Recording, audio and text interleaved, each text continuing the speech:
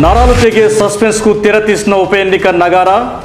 హుజూరాబాద్లో దసరా పండుగకి ఓటర్లకు డబుల్ ధమాకా.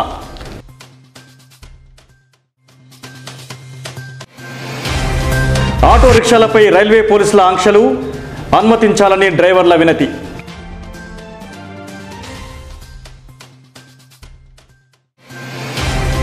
అన్నదమ్ములకు ఐసెట్లో ర్యాంక్ గాయత్రి విద్యార్థుల ప్రతిభ.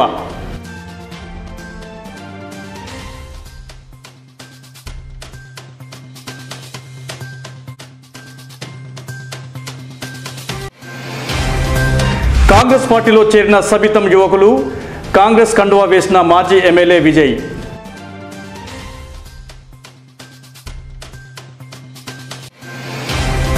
గోపా రాష్ట్ర కార్యదర్శిగా రాజా నరేందర్ గౌడ్ ఘనంగా సన్మానించిన జిల్లా గోపా నాయకులు.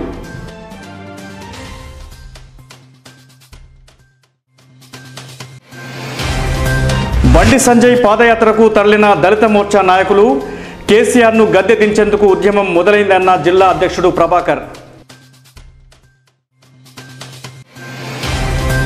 రాంపల్లో ఎస్ఆర్ఎస్పీ కాలువకు గండి భారీ వర్షాల వల్లే పడిన గండిని పూడ్చిన వైనం.